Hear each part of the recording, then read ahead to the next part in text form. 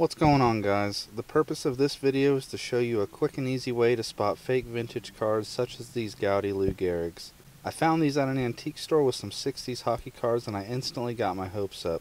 I tried to do some quick research but the issue is every card has certain nuances that are used to determine if they're fake.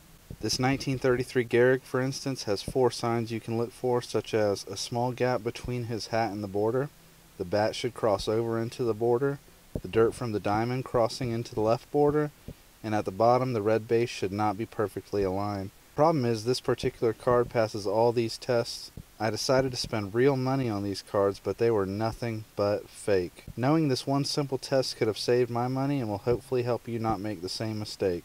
The cardstock they used back then and even into the 60s and 70s was much thicker than what they use today.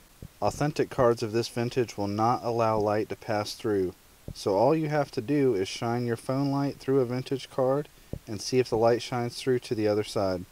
For reference, you can see the light does not pass through this 1964 Topps cards that has been authenticated by PSA. Compare that to these other modern cards that allow light straight through exactly like my reprint Goudey Gehrig's.